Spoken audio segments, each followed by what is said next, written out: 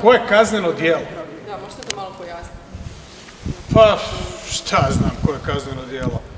To, je na- to bi bilo na DORH-u da istraži, ali DORH to neće više moći istražiti.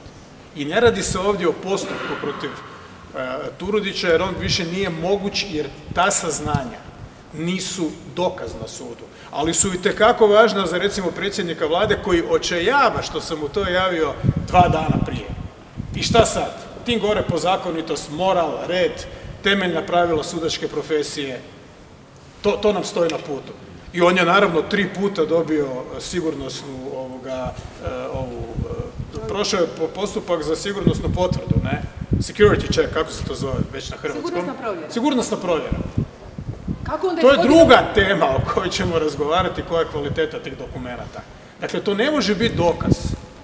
Ne može biti e, neosporan dokaz da je netko ispravan. Nije ispravan. Dakle, ne radi se dobro posao, gospodo. Ne radi se dobro posao. Čovjek je, to je kao da neko dođe i kaže, gledajte, imam odlične nalaze. Evo, od jučer su, zdrav sam. A čovjek pljuje krv. Ima emboli, recimo. Ja sam zdrav. I sad se uvjeravamo, dakle, da je netko zdrav jer ima na papiru, da je netko čitao nalaz da je zdrav. Ali osoba je bolesna, dakle, ona nije upotrebljiva, nije za to. I na to Plenković zatvara oči. Ja mu samo mogu reći da mu rijeke pravde dolaze. Jel možemo samo ovo razjasniti? Kako osoba koja se, koja se sastaje i kažete ima veze sa krimiljeom, kako ta osoba u nekoliko sigurnosnih provjera, provjera prolazi? Ako doista ta osoba ima e, veze sa krimiljeom, pa onda je sporno i da je ta osoba na visokom kaznenom sudu. Držimo se, dakle, samo radi jasnoće, bit će dovoljno. Dakle, jedno ubojstvo ili jedno kazneno djelo je dovoljno za, za neku, dakle, dva djela mogu doprinijeti veće kazne. Fokusiramo se na ovo.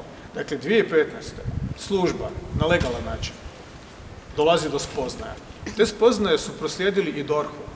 To je sad u DORH-u, to je, to je kuća koju ovaj probisvet preuzima. Ovi tamo nisu u tom trenutku mogli upotrijebiti to kao sudski dokaz. I to služi ničemu, a opet svima je sve jasno. I taj čovjek ti dolazi za šefa. Ali vaše pitanje kako je moguće, ja vam za 2009. i 2014. to ne mogu reći. 2014. sam bio premijer. Ali evo, koliko sam se bavio Turudićem, toliko da me za to boljelo uho. Možda sam se trebao interesirati da vidim kako taj čovjek kao uskočki sudac mogao dobiti verifikaciju i sigurnosnu provjeru. Međutim, 2015. mi imamo ovaj slučaj sa Mamićem. Sljedeća provjera je 2019. Ja nisam tada predsjednik, jel tako? Nisam u vlasti. Međutim, on prolazi. Provjera se radi na način da on priča o sebi kao drug Tito Veljku Bulajiću u svjetlo-plavom odjelu sa kubanskom cigarom. I povijest teče. Nitko joj ne stoji na putu. Nema pitanja. Ja sam vam super, ja sam ovo, ja sam vam ono. Niko da ga pita ili da, da, da stavi u to izvješće. Čekajte, vi ste se, mislim, prije nekoliko godina nalazili u tim i tim okolnostima sa tom i tom osobom. Što imate reći o tome? I onda o tome obavijestiti tadašnjeg predsjednika vlade, to je AP Gojanac, to su sve isti ljudi. Tu posao nije napravljen. Tu dileme nema. Dakle, nekome je bilo u interesu da se ne talasa. Jer taj čovjek ni pod kojim uvjetom nije smio proći sigurnosnu provjeru. Prošao je, izmišljen je sud za njega. Ko je kriv za to? Izmišljen je Plenković.